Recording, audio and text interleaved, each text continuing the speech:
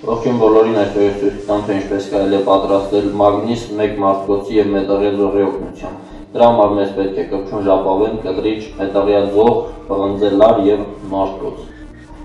Նախ եւ առաջ վերցնում ենք մետաղյա ձողը եւ կպչուն ժապավենի օգնությամբ նրա վրա ամրացնում պղնձելարը։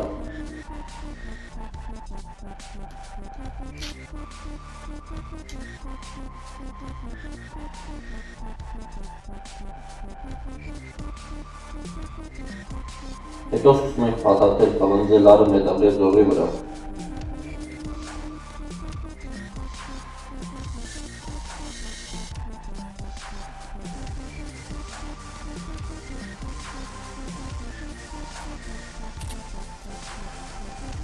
Վերջում ամրացնում ենք պղնձելարը կպչուն ժապավենի օգնությամբ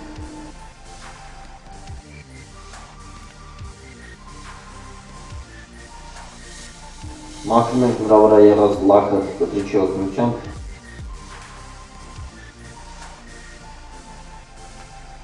Ահա ոչ պատրաստ է։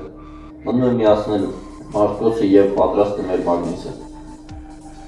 Միացնում ենք մարտկոցը, ահա ինչպես տեսնում եք, այն ունի մագնիսական մեծ դաշտ։ Դեք մի մոռացեք բաժանորդագրվել ալիքին եւ սեղմել լայք։